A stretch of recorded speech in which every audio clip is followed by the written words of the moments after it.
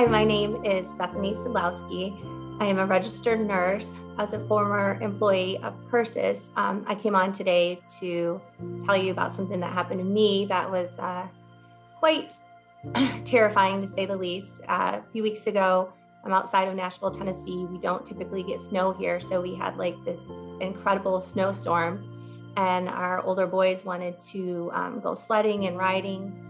Uh, so I happened to be with a medic and um, our neighbor, and so we were out in his field, like a big horse field, and uh, and we had a big, um, wide tube, and uh, the boys were getting pulled on a quad, and so kind of like if you're skiing, they were holding onto a rope, and and you know uh, water skiing, and like when they you know would turn a corner, they kind of got pulled wide well, I was sitting on a Polaris. So we were in this big empty field.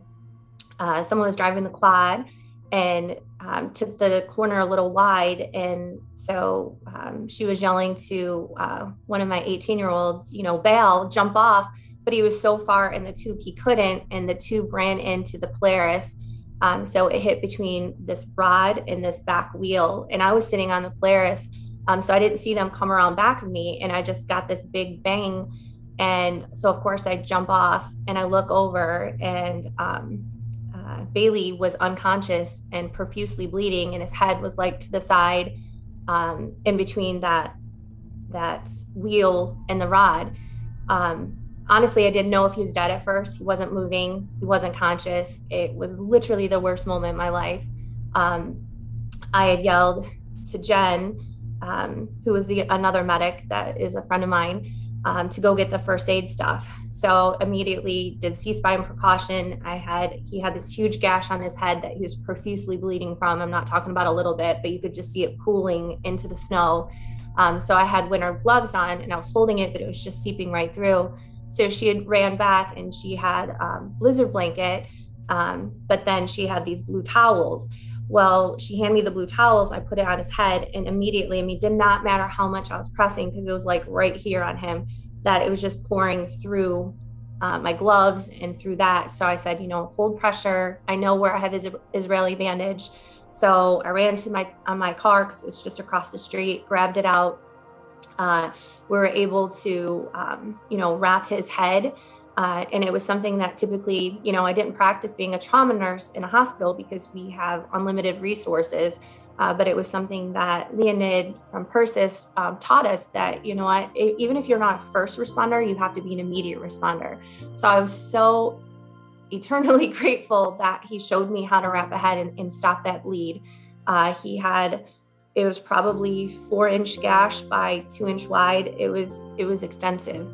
Um, and so we put that on him. Uh, we had EMS volunteers show up about five minutes in. So uh, they were able to put a collar and we were able to safely log roll him onto a blizzard blanket because ultimately he was laying on snow, right? So, so now he's partially conscious, doesn't know what's going on. Uh, we're able to get him on the blizzard blanket.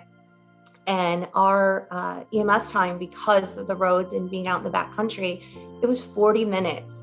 40 minutes. So that if he didn't stay warm and if we didn't have something to stop that that bleed, we wouldn't have had such a good outcome. So even then, EMS had a hard time getting their truck in to get it out, and we took him down a mile to uh, get him airlifted to Vanderbilt because he was a head trauma. Uh, gratefully, he was stable the entire time. His vitals stayed, you know, he was warm. Um, his bleeding had stopped. So, you know, he was admitted to their trauma bay and he was discharged about 24 hours after. So we are so lucky. But had we not had those um, things with us, it would not have been the same outcome. Uh, when EMS showed up, the volunteer EMS showed up, you know, they had some gauze and, and a little space blanket. And there was no way that that would have maintained his, his um, heat and would have been able to stop the blood. So immediately I called PerSys after and I was just like, thank you so much for teaching me that even though I'm not a first responder and even though I am a nurse, I always need to be prepared to be an immediate responder because that was that was one of my kids' life, you know. He's like he's not my child, but he's like one of my children. He lives with me. And um, I would have been devastated had I not had all the tools I needed to save his life. So thank you, PerSys.